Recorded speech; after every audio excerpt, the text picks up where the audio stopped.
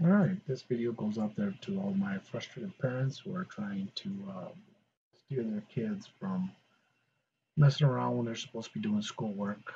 Um, so what I'm mostly covering is this only really applies to Xfinity. I'm pretty sure Comcast has their own settings or your, your current uh, internet provider probably has their own settings that you can go in there and, and play with but uh, currently I only have Xfinity running on my home. So what I'm going to do is I'm going to go ahead and show you how to log into your Xfinity router, which is just uh, I'm connect, connected up to my uh, my router via um, Wi-Fi, but you can be hardwired or even Wi-Fi, and it'll still let you log into it.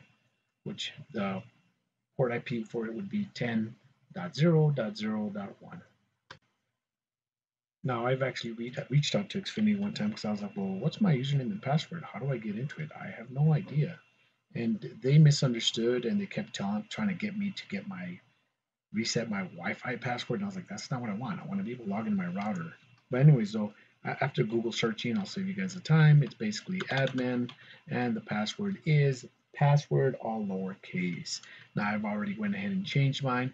Once you log in with the password lowercase, you will then go ahead and be prompted to automatically change it, which will give you the, it'll ask you for your old password and then your new password and then confirm that new password. So I've already changed it. All right, once you're in, you'll go down to the left on parent control. And in here, you can actually input either keywords that you want to block or uh, specific websites you want to block. So that way, during school hours or all the time, you want them not to go to those websites, um, you can go ahead and put that in there. Uh, for example, right now, say my kid wanted to do a search for Minecraft, right? Cool. Now, Minecraft should, it'll still let you do a, a search for it. Um, let's go for Minecraft skins. There we go. So we want to go to that website. Boom because we want to research Minecraft skins.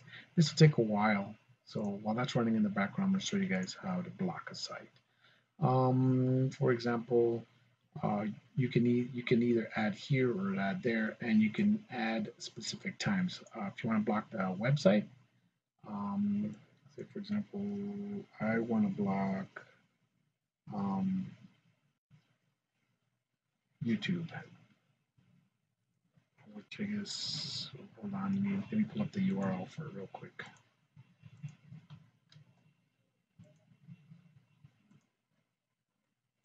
YouTube, okay? Now in here you could say always blocked, so that means it's always blocked, I'll never have access to it, or you could hit no, and then put down what specific times you want it to be blocked. Say you just want it to be blocked till uh, 4, 4.50, 4 p.m., right? That's when they get off at school time, starts at midnight, then it start and it goes till 4 p.m. You can specify what dates and times, uh, and then go ahead and hit save. You don't want to be blocked on the weekend. All right, cool. Monday through Friday is blocked from 12 a.m. till 4 p.m. and that's it. Now, let's go ahead and hit save, and there we go. Our times are saved. Monday through Fridays, it's saved. They shouldn't be able to hit uh, YouTube anymore. Now, let me show you this Minecraft. This is what you get when you block it. Even if you do a search, and it's going to be continuously trying to search, but it won't let you into it. Now, I, I've tried to make this video several times before where I just block this and then I show you guys an example. Hey, look, it's blocked. But what's funny is it takes a little a little bit of while for it to propagate when you first set this up. Um, so you won't see the immediate results right away. Like, uh, let me let me bring up another browser real quick and see if, if it finally blocked YouTube. Now, because it's already cached on my computer, it might let me into it right away. It, it might block it right away. If I see, the only reason why I brought up a different browser is because it was already cached on my previous browser, which was uh, Edge. So it'll probably let me into it with no problem. But I'm using Google Chrome, which normally drops all your cached uh, data, and it'll start with a new browser.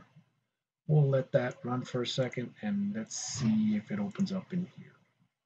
See, it's letting it open up in Edge because it's got it already cached. But with the new browser, it's still thinking about it. It's like, no. And it'll probably give me the same error that it gave me with the Minecraft. Now, um, like I said, you can also add keywords if you want to go ahead and put anything you want to in there, Twitter, whatever. You can put it in there. So if the kid is doing a search for those these specific words, then they will get blocked as soon as it pun punches up. Uh, what else did I have blocked in there? Hold on, let me see. Cancel. We could even do a keyword by Discord. Discord is one of the most annoying applications you can ever have on your kid's computer because they will always load this software. So what we want to do is search. If you if if if you guys are computer savvy, you can literally go into your um, control panel on your computer, open up uh, uh, programs, and then delete Discord from the computer, and then you can go ahead and block it here so when they try to go into Discord to reload it while you're not paying attention, then they should be getting the blocked again. Let's check to see if YouTube got blocked. Well, still not coming up on the other browser. Let me see if it comes up. Do, do, do, do. Do, do, do, do. We'll give that some time and see if I can think of other things to talk about on this side. Um, inevitably, uh, this is a great tool with, um, there we go. Hey, look, see, blocked, Discord. Can't even go to the sites for it. So this is a great tool for you parents at home who are frustrated with your kids, who cannot handle them, they in turn have no self-discipline to know what sites not to go to and what not to do. You can go ahead and just log on to your router and block it. And then say the weekend comes or whatever. Not like I said, you can set specific times or you can set it for always. And then on the weekends, they should be able to surf those sites and do whatever they want to to enjoy themselves.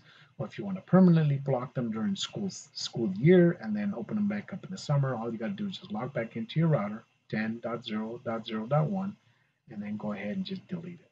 So like this one, I can go ahead and delete. But let's see if it came up. Yeah, there we go. YouTube was blocked on the Chrome browser. So um, I just figured I'd put this out for parents out there frustrated. It's, it's just so annoying not being able to get your kids to focus. And this is possibly one good way to get them to focus. All right. Uh, thank you for your time. And uh, hopefully you guys uh, like this video. I really don't plan to make many more, but I just thought, you know, just passing on some knowledge. Bye.